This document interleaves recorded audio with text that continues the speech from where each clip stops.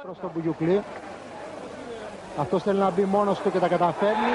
Πέφτει κάτω και έχουμε πέναλτι. Καθώς τον έσπρωξε ο Παχατουρίδης. Στη φάση που ξαναβλέπετε ο Μπουγιουκλής έπεσε κάτω μετά το σμπρώξιμο του Παχατουρίδη και ο κύριος Καραμάνης μόλις το 7ο λεπτό δείχνει το σημείο του πέναλτι. Βασίλης Δημητριάδης εναντίον Ηλία Ταλικριάδη. Εκτελεί το πέναλτι ο Δημητριάδης και είναι το 1-0 στο 7ο λεπτό του αγώνα. Ο Αναστόπουλος για τον Λιτοφτσέγκο. Αυτός πατάει στον Προτάσοφ. Είναι μόνος του Σοβιετικός αλλά καθυστερεί αδικαιολόγητα.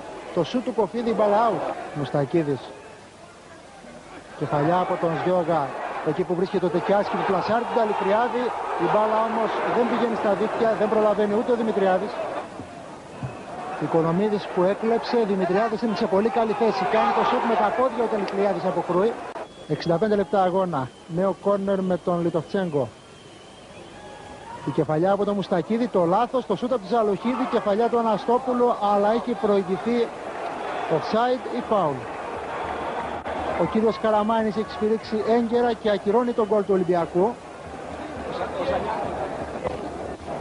Καθώς υπέδειξε φάουλ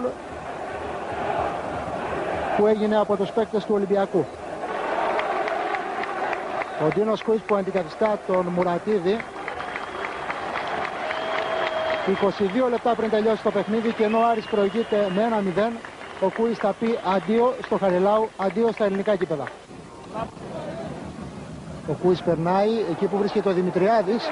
Κάνει το σούτ ο Δημητριάδης αλλά τελικά πιάνει αέρα, δεν έκανε το σούτ κερδίζει όμως την μπάλα. Νέος σούτ από τον Δημητριάδη αποκρούει ο Ταλικριάδης ο Μπουγιουκλής επιμένει, ο Σδιώγας μες στη φάση, ο Κούις τώρα κάνει το σούτ, αλλά αποκρούεται η μπάλα και είναι out. Τέσσερα λεπτά ακόμα, ο Σαβίδης στο κόρνερ, η κεφαλιά από τον Προτάσο, πέφτει ο Καρκαμάνης και ο Ολυμπιακός σοφαρίζει. Σε αυτό το κόρνερ που εκτέλεσε ο Σαβίδης, η κεφαλιά από τον Προτάσοφ και η μπάλα στη γωνία του Καρκαμάνη στο 86, ενώ έχουμε την κόκκινη κάρτα στον Λιμιάτη ή στο Μουστακίδη. Στο Μουστακίδη.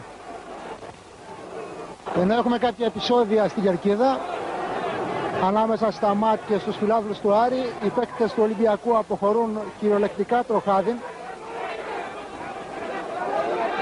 για να αποφύγουν τα αντικείμενα που εκτοξεύονται εναντίον τους.